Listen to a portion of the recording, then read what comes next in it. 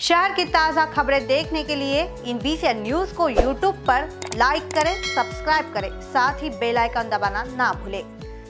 देश में आज से चौथे लॉकडाउन की शुरुआत हो गई है। इस लॉकडाउन में सरकार की ओर से कुछ छूट दी है।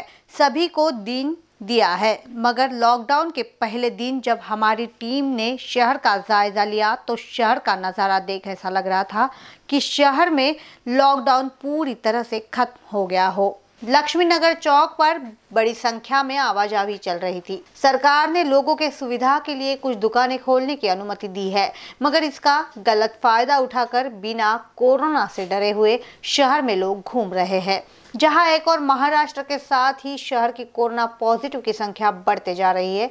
ऐसे में लोगों ने खुद की रक्षा खुद करनी चाहिए। जिस दिन जो दुकान खुला है, उसी दिन निकले और ज़रूरत हो तभी घर से निकले। देशात लॉकडाऊन चारची घोषणा करण्यात आलेली आहे या हा लॉकडाऊन पूर्णपणे नवीन नवीन आहे. यात काही दुका दुकानाला किंवा प्रतिष्ठानांना काही सवलती देण्यात आलेल्या आहे. पण सध्या आता आपण नागपूरच्या लक्ष्मीनगर चौकात उभो आहोत. महाराष्ट्र महा महाराष्ट्रात जी कोरोनाची पॉझिटिव्हची संख्या ती दिवसेंदिवस वाढत आहे. नागपुरात पण तेच आलं आहे. पण आता हा लक्ष्मीनगर लक्ष्मी लक्ष्मीनगरचा हा जो चौक आहे यात तुम्ही रहदारी पाहून घ्या. मोठ्या प्रमाणात लोक बाहेर निघालेले आहेत. कोणाला क- कोणाला कोरोनाची भीती ब- भीती दिसत नाही आहे. मोठ्या प्रमाणात लोक बाहेर निघतात आहे खरीदारी चालू आहे काही दुकानं उघडे आहेत पण काही दुकानं बंद आहेत. त्यामुळे त्या मनाने रहदारी ही भरपूर मोठ्या प्रमाणात आहे. लोकांना कुठली भीती आता राहिलेली नाही. त्यांना असं वाटत आहे की लॉकडाऊनमध्ये जी सवलती दिली आहे तर लॉकडाऊन संपला आहे.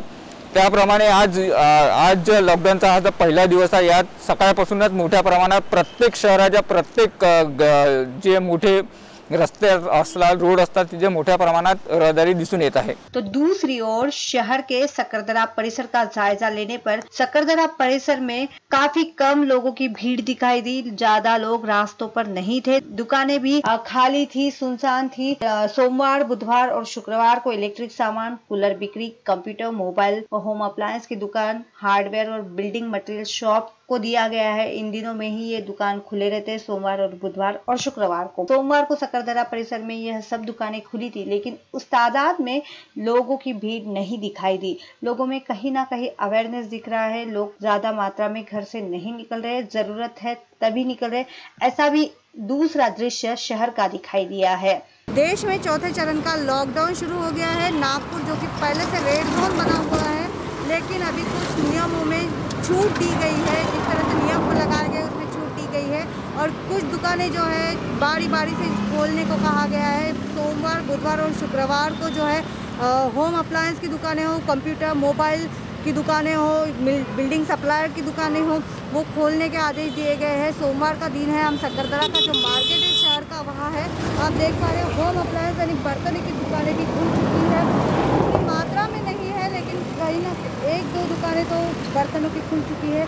जिस तरह से मोबाइल शॉपी है, वो भी खुल चुकी है। लोगों की उस तरफ़ भीड़ जो है, वो नहीं दिखाई दे रही है, क्योंकि कोरोना का संक्रमण जिस तरह से शहर में दिन ब दिन तेज़ी से बढ़ रहा है तो लोग काफ़ी अवेयर हुए दिखाई दे रहे हैं, ये सकरदरा जो मार्केट है, ये आम दिनों अगर देखा जाए तो यहाँ काफ़ी भीड़ रहती थी। पूरा यहाँ शॉपिंग जो है, सब करने लोग आते थे, लेकिन आज का दिन है, छूट देने के बावजूद भी देख पा रहे हैं कि जो दुकानें खुली है, भीड़ नहीं दिख रही है लोगों की।